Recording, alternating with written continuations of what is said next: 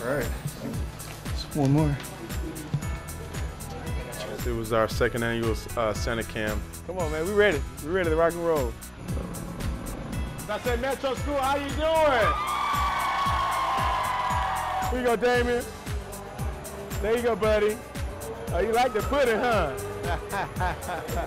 to have a dream come true with what we want to get uh, done in a foundation event with the impact you have on kids when they see actually you coming in. How you doing, man? Hey, what's up? What's up? What's up, bro? What's up? What's up with it? What's up with it, man? It's just amazing. Um, you know, as long as you know, I have opportunity to give back, I want to do it to the best of my ability, and uh, that's what we did today.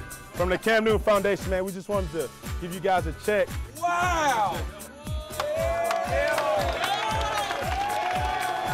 It was an amazing situation. I, I, really appreciate him coming by. It goes back to what we talk about. Um, we trying to change the culture here and believe that you know if you have strong enough faith, you can move mountains. And today, a mountain was moved. We got a lot of money to help refurbish the weight room. Favorite part would have to be uh, seeing uh, Kevin Hart and Ice Cube. Here we go.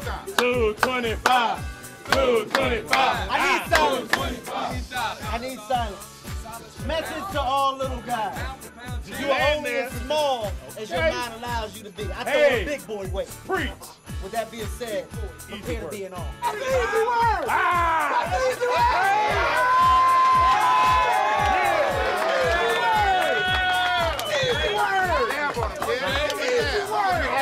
Since I'm in Carolina, I do as Carolina Panthers do.